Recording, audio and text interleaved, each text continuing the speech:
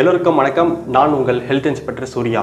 நியூட்ரிஷனுக்கான basis கிளாஸஸை பற்றி இவ்வளோ நாளாக பார்த்துட்டு இருந்தோம். அண்ட் இதுதான் நியூட்ரிஷனுக்கான லாஸ்ட் வீடியோ இந்த வீடியோவில் நம்ம நீர் சத்தை பற்றி தான் பேச போகிறோம் and நியூட்ரிஷனுக்கான part one part two and part three video ஏற்கனவே போட்டிருக்கிறேன். அந்த வீடியோக்கான லிங்கை டிஸ்கிரிப்ஷனில் கொடுத்துருக்கிறேன். யாருனாச்சும் மிஸ் பண்ணியிருந்தீங்கன்னா அதை பாருங்கள் அந்த வீடியோ ஃபுல்லாக பார்த்துட்டு இந்த வீடியோ பார்த்தீங்கன்னா உங்களுக்கு இன்னும் நல்லா கொஞ்சம் முழுசாக புரியும். அண்ட் இப்போ வாங்க வீடியோக்குள்ளே போகலாம்.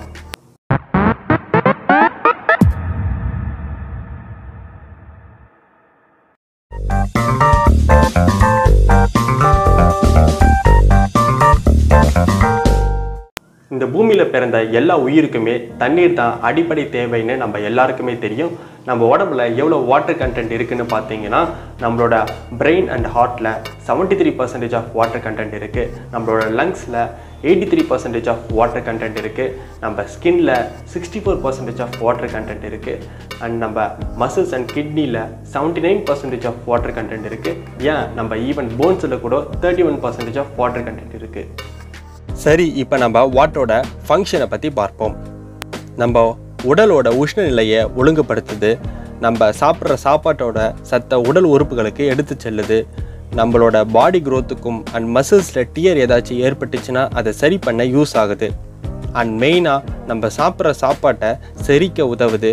அண்ட் நம்ம உடம்புல இருக்கிற கழிவை வெளியேற்ற வாட்ரு ஒரு முக்கிய பங்கு அளிக்குது. நம்ம உடம்புல எப்படியெல்லாம் வாட்டர் லாஸ் ஏற்படுதுன்னு பார்ப்போம். வியர்வை சிறுநீர் அண்ட் மலம் கழிப்பதின் மூலம் கண்ணீர் அண்ட் தாய்ப்பால் தருதல் மூலிமா நம்மளுக்கு நீர் இழப்பை ஏற்படுது. சரி இப்போ வாங்க.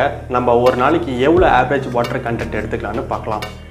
நிறைய பேர் சொல்லுவாங்க ஒரு நாளைக்கு ஃபோர் லிட்டர் ஆஃப் வாட்டர் எடுத்துக்கணும் அப்படின்னு சொல்லிட்டு பட் அப்படி ஒரு கணக்கே இல்லை.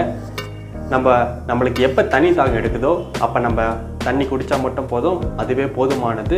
ஏன் இப்படி சொல்கிறேன்னா கொரோனா லாக்டவுன் வரதுக்கு முன்னாடி நம்ம வெளியில் போய் ஆஃபீஸில் ஒர்க் பண்ணுறதுனாலும் சரி நம்ம வெளில போய் விளையாடுறதுனாலும் சரி அப்போ அதிகமான வாட்டர் லாஸ் நம்ம உடம்புல ஏற்பட்டிருக்கும். அதுக்கு தகுந்த மாதிரி நம்ம அமௌண்ட் ஆஃப் வாட்டர் இன்டேக் நிறைய எடுத்துகிட்டு இருப்போம் பட் இப்போ நம்ம வீட்டிலே இருக்கிறதுனால நம்ம வெளில போய் விளையாட மாட்டோம் அண்ட் அதிகமாக ஆஃபீஸ் போயிருக்க மாட்டோம். ஸோ அப்போ நம்ம உடம்புல இருக்கிற வாட்டர் கண்டென்ட் அப்படியே இருக்கும். ஸோ இதனால் நம்ம பாடியில் வாட்டர் லாஸ் கம்மியாக ஏற்பட்டிருக்கும். அப்போ நீங்கள் கம்மி அமௌண்ட் ஆஃப் வாட்டர் தான் கன்சியூம் பண்ணிகிட்டு இருப்பீங்க. ஸோ நம்ம தண்ணி எவ்வளோ எடுத்துக்கணும்னு ஒரு கணக்கே கிடையாது. பை அவர் டெய்லி சுச்சுவேஷன் இது மாறிக்கிட்டே இருக்கும். ஸோ இதுதான் நியூட்ரிஷனுக்கான கடைசி வீடியோ நியூட்ரிஷனுக்கான மொத்த சீரீஸுமே நான் டிஸ்கிரிப்ஷனை கொடுத்துருக்குறேன். யாருனாச்சும் மிஸ் பண்ணியிருந்தீங்கன்னா அதை கண்டிப்பாக பாருங்கள் அண்ட் நம்ம சேனலுக்கு புதுசாக வரவங்களாக இருந்தீங்கன்னா நம்ம சேனலை சப்ஸ்கிரைப் பண்ணுங்கள் அண்ட் அது கூட பெல் ஐக்கனை கிளிக் பண்ணுங்கள் அப்போ தான் நாங்கள் போகிற வீடியோ உங்களுக்கு கண்டினியூஸாக வந்துகிட்டே இருக்கும்.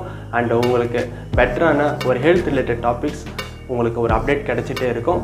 அண்ட் அடுத்த வீடியோவில் உங்களை சந்திக்கும் வரை உங்களிடமிருந்து விடைபெறுவது உங்கள் சூர்யா. நன்றி வணக்கம்.